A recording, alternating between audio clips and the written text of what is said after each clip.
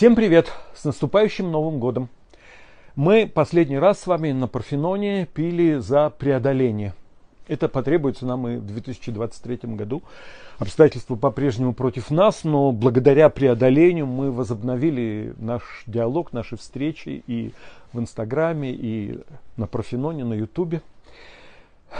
Но мой всегдашний тост на Новый год, повторяемый, это за новизну Нового года, чтобы он действительно был новым. И от повторения, мне кажется, что этот тост хуже не становится. Уходящий 2022, старый год, был годом войны, увы. В том нет его вины, нет вины календаря. Так пришлось на его долю, ну и на нашу тоже. И новизна, действительно новизна 2023 будет в том, если он окажется мирным. Рано или поздно. Лучше, конечно, чтобы рано убежден, абсолютное большинство людей живут надеждой на это. Ну, на мир же надо надеяться, не на войну же. Так что пожелаем друг другу мирной новизны 2023 -го. Счастливо. Будьте здоровы.